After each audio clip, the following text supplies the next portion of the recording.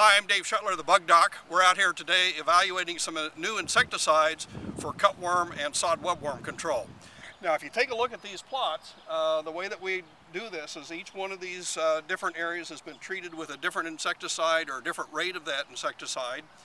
What we then do is come back at a later time and we use a detergent soap flush in order to encourage those cutworms and sod webworms to come up to the surface where we can count them and find out whether our products are, are working or not. Now, if you've never seen them, uh, cutworms typically make these types of, of, marks in the, the turf. They'll often set up in old aerification holes. They'll come to the surface at nighttime and eat the turf down. The sod webworms often are mistaken for disease. They, they will come up to the surface uh, and just feed on the surface not make these little pock marks. But both of these will come up when we use that detergent uh, soap flush. And you can actually use that if you're on a golf course or your sport field to evaluate whether you've got cutworms or sod webworms.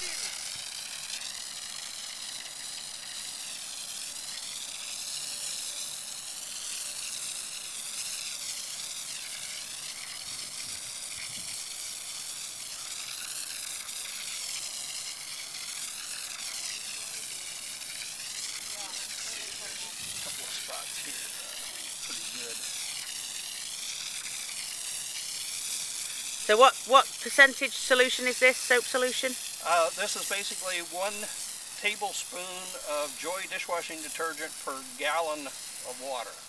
And this won't kill the grass? It won't kill the grass. Uh, actually, there are three soaps that can be used for this. Uh, we've had uh, no phytotoxicity with, with Joy Ultra, uh, Dawn Ultra, and Ivory Clear. Now, if you want to kill turf, use Palmolive. the cutworms that's come to the surface after we've applied the soapy solution and he's not feeling too good. They don't last very long after having that uh, soap solution. It penetrates their exoskeleton and kills the underlying cells. Here we are in one of our uh, test plots and, and, there are several insects that have come up. Here's a, a sod webworm. This is probably about a medium-sized one. As you can see, they're really pretty small. What we also get are uh, coming up are these little uh, black shiny beetles, which are the uh, adults of the black turfgrass Ataenius. And so sometimes that's a good way to also monitor whether you've got Ataenius uh, in your greens and tees.